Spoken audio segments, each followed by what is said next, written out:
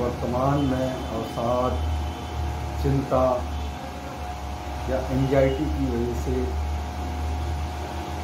सभी त्रस्त हैं और परेशान हैं। लेकिन योग में एक ऐसा मार्ग है जिससे हम अपने मनोविकारों को शांत करते हुए परम आनंद का अनुभव कर सकते हैं। और इसके लिए हमें कहीं भी नहीं जाना है और ना ही हमें अपने कोई गृहस्थ संबंधित जिम्मेदारियों का त्याग करना है। मात्र प्रातःकाल ब्रह्म मुहूर्त में जगकर कुछ योग की सरल क्रियाएँ हैं, जिससे कुछ ही दिनों में हमें बहुत लाभ मिलता है और हम दुख नैराश्य चिंता से उबर कर एक परम शांति का अनुभव करते हैं। और हम चाहे किसी धर्म या पंथ आदि को मानने वाले हों, लेकिन योग सबके लिए सुलभ है और सभी के लिए समान है। यहाँ पर अब ज़्यादा इसको लंबा ना करते हुए मूल बात में आ जाए कि हम अपने अवसाद या डिप्रेशन को कम करने के लिए क्या करें। इसके लिए सर्वप्रथम प्रातः स्नान करके कहीं शुद्ध एकांत स्थान पर बैठें और कुछ कपाल भाती की क्रियाएँ करने, कपाल भाती को करने के लिए दोनों नथुनों से सांस लें और इतना उसको धीमा छोड़ें कि स्वयं को भी पता ना लगे कि हमारी सांस अंदर आ रही है और बाहर जा रही है। तत्पश्चात पचास साठ बार जब हम अनुलोम विलोम कर लेते हैं, और अनुलोम विलोम को कपालभाति भी कह लें या अनुलोम विलोम कह लें, दोनों एक ही हैं। फिर भस्त्रिका करें। भस्त्रिका में तेज गति से अंदर को सांस लें और इस तरीके से छोड़ें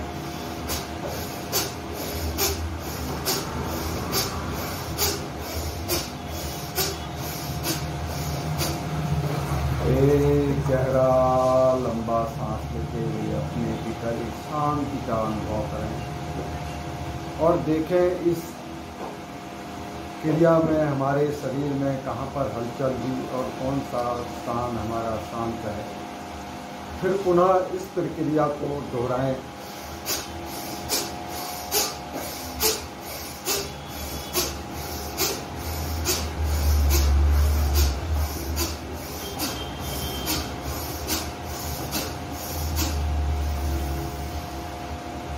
गहरा लंबा सांस लें और नेत्रों को बंद कर कर पुनः देखें कौन से स्थान पर हमारा शरीर प्रभावित हुआ।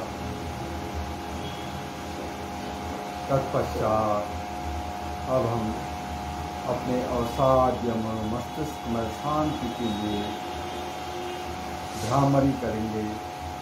भ्रामरी में कई रूप हैं, लेकिन सबसे सरल है नाक के दोनों नथनों को ओमकार की मुद्रा बना ले ओमकार और इस तरीके से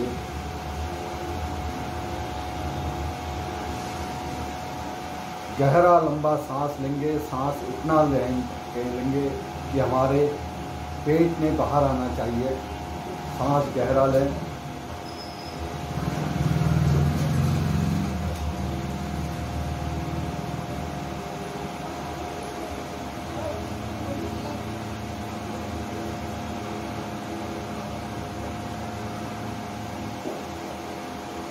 कहने का मतलब है कि जब हम भ्रामरी करेंगे तो श्वास को बहुत धीरे धीरे लेकर अपने फेफड़ों को भरते हुए पेट तक भरना और गुदा द्वार को सिकोड़ कर ऊपर को खींचेंगे, जिससे हमारा मूल बंध भी लगेगा। और अपान और प्राण वायु दोनों आपस में जब इनमें मिलेंगे तो हमें परम शांति का अनुभव भी होगा।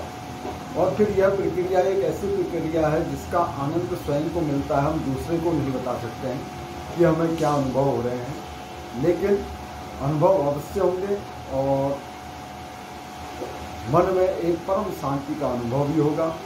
जब हम भ्रामरी करेंगे तो अपना ध्यान बंद नेत्रों के द्वारा हम यहाँ पर सहस्त्रार्थ में लगाएँगे मतलब हम इस स्थान से यह परिकल्पना करें कि यहाँ से हम कोई सीधी रेखा करें और जहाँ पर यह मिलेगी तो यहाँ पर ऐसे क्रॉस में और ऐसे।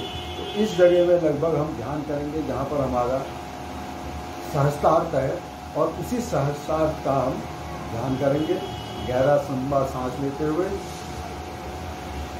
भावरे का गुजर मन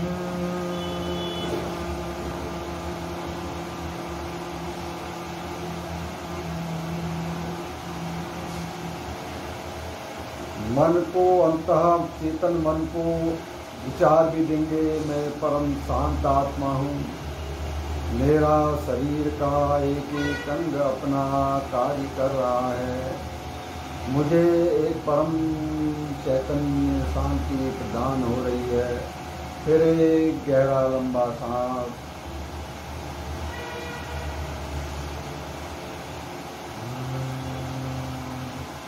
इस तरीके से कम से कम 10 से 15 बार इस प्रक्रिया को करें और देखेंगे आपको एक परम शांति का अनुभव होगा। यदि किसी को कुछ विशेष पूछने की जिज्ञासा जागृत हो तो मुझे मेरे संपर्क सूत्र नाइन